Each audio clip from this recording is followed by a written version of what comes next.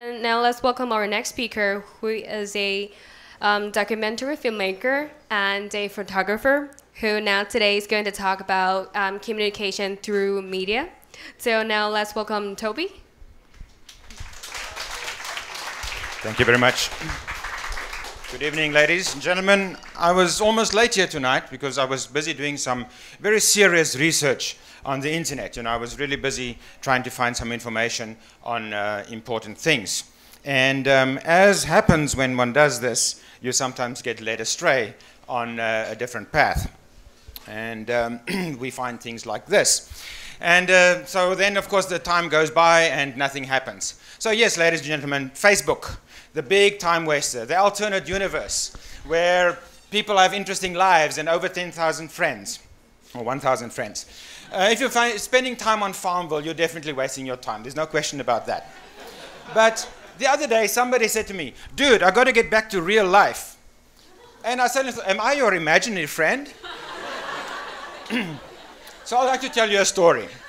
There's a village in Hsinchu called uh, and it's up in the mountains, an Aboriginal village, and it's kind of forgotten. Father Barry Martinson, the priest there, tells me that for 35 years through um, um, earthquakes and typhoons and poverty, this town is always at the back of the, of the, of the queue.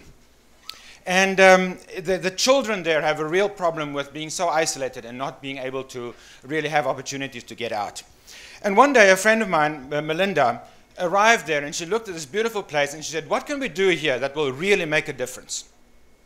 And Father Barry said, Well, what we really need is an, a community center a place where people can come and learn things that will make them, them, their lives more sustainable. And we actually have an old building that's standing disused.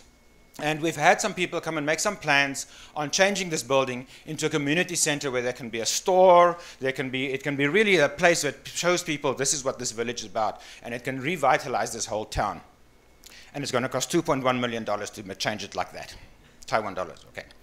So Melinda said, okay, fine, let's give this a try. Let's see what we can do. And she put out on Facebook a project called the Ufong Project. And she invited artists and photographers to come up to the village and give workshops to the kids. This is a, just as a start. And through Facebook, this thing just spread. Everybody started getting enthusiastic about this idea. And finally, 21 photographers and 28 kids showed up. The photographers are the real mature ones on the top left.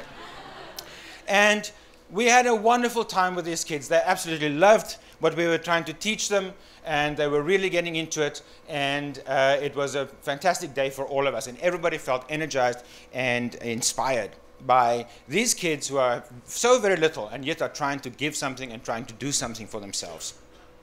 We had the art workshop, and it was the same thing.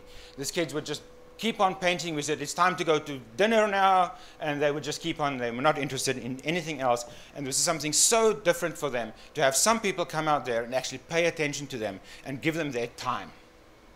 Eventually, we gave each of the children a camera and we told them to go and take photos of their lives, of their family, of their environment. And we would bring all of this together and have a photo exhibition and an auction to raise funds for their society. I went up and I made some uh, film about it. That went out on Vimeo, on Facebook as well, and got a lot of interest and, and attention for the project to keep going. So, um, and one of the things that really caught my attention was the choir, because these kids actually have a self-directed choir that sing in the church. They train themselves, and it was really beautiful. So I made a film about that, put that onto, onto Vimeo, and it did the rounds. And again, it managed to raise a lot of interest and a lot of attention. Finally, the day arrived, we had the auction, and the kids performed, and um, the uh, bidding started. And the children were absolutely amazed when they saw their works that they had created selling for 3,000, 5,000, 10,000 Taiwan dollars. Something that they had made was given value. And you could absolutely see they were amazed by this. It was a real eye opener and a very, very inspiring thing to see. At the end of the evening, we tallied it all up, and we had made 300,000 Taiwan dollars towards their um, um, communication, uh, uh, sorry, their community center. And but then the magic thing happened. A wealthy patron who had been there, who had been inspired through all of this work that happened, came forward and said, "I'll give you the rest."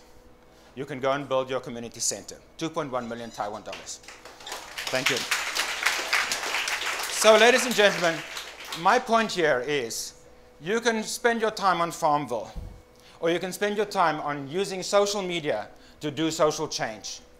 You can tell me that Facebook is not real and it's all super superficial, but I think we can go and ask these kids, how real is this? And I think they say it's plenty real. Thank you very much.